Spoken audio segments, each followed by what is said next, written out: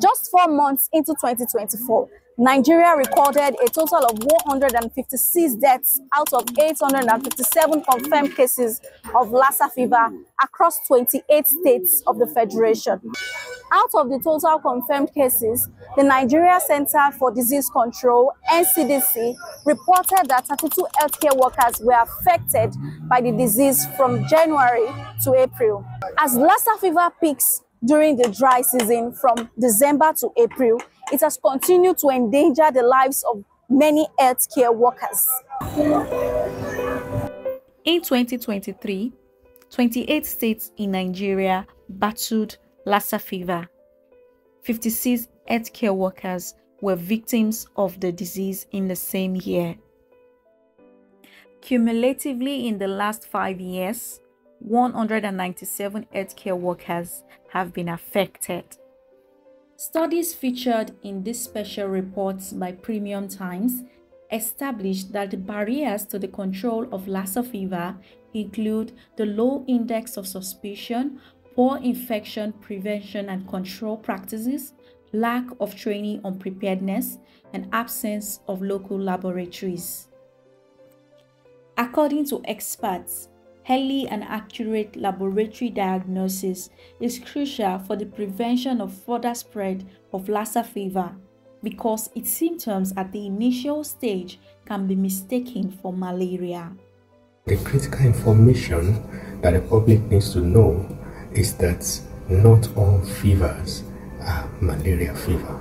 And because of that, if there's any suspected case of fever where you are staying, encourage that individual to go to the nearest health facility for proper investigation and treatment. Some of the health workers who survived Lassa fever shared their experiences with Premium Times and also gave their recommendations.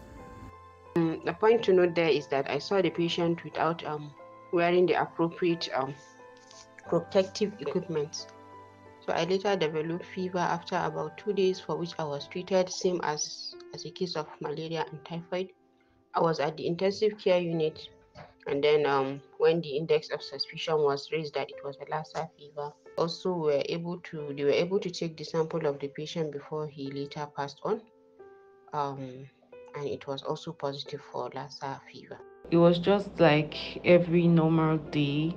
I felt like I had malaria because I had fever and then there was myalgia. I felt really weak. Naturally, I assumed I had malaria. I was treating myself for malaria.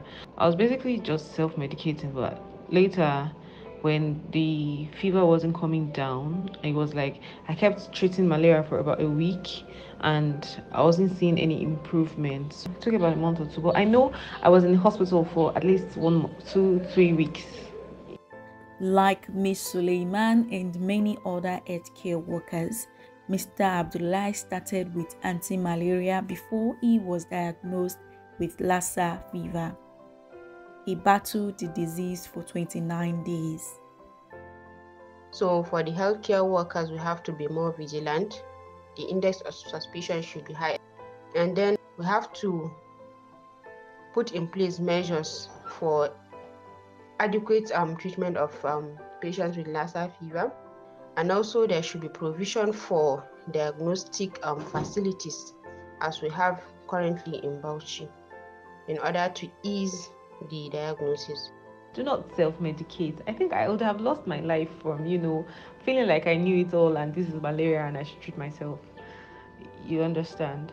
So I feel like what makes what is going to really help us is you have any symptom, you have fever, you have, you know, you've seen that this um, the illness becomes protracted and then it's not going down, please go to the hospital. Have a Lassa DNA PCR done. It is free and it is so easy to diagnose, especially in Irrua specialist teaching hospital. And I can, for a fact, I know that with early presentation, you're not going to die.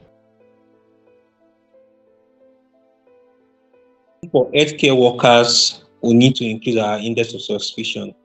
Know that, uh, especially in that in the peak period, every case of unresolved fever can be Lassa and should do appropriate testing.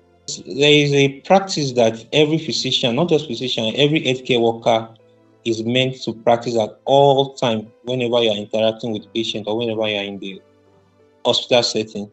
That's what is called universal precaution, which includes IPC.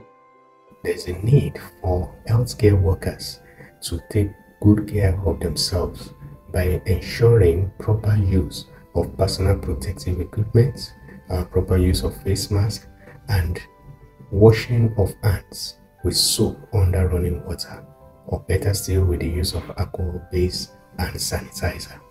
For service providers to be able to provide the needed and required form of service to their clients, they need to ensure that they protect themselves. By protecting themselves, they're able to protect their clients and they're able to protect the general public as a whole. Thank you. So um, I give glory to God that I'm here. I'm I'm alive to share my story um with the populace. Thank you.